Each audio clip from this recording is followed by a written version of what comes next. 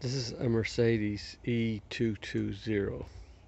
So what I'm doing here is I'm doing an oil change and a filter change on this. So probably the biggest job is taking down the covers, the engine covers and the rear cover.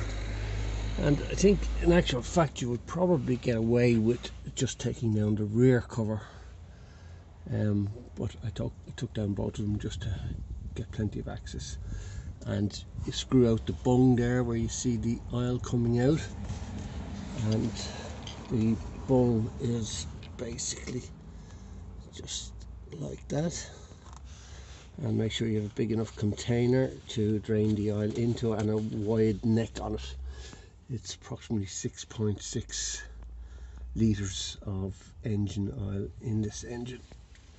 So once you've done that I have previously loosened the filter but I just want to show you how to actually get access to where the filter is. So the filter is in here and you get access to this whole hair area by removing these covers. The cover there with the Mercedes uh, symbol on it and then the cover then where the filter goes. And once you've uh, those off there's a little clip here. Just pull that clip out this cover then will pull up this two um, hoses here attaching so you just pull that up and you can just bend it out of the way. And as I said I had previously loosened this off so all you need to do is just loosen that and take out filter and the cap assembly. And here you see on this filter there's a, a sort of a, a, spud sticking out of the end of it.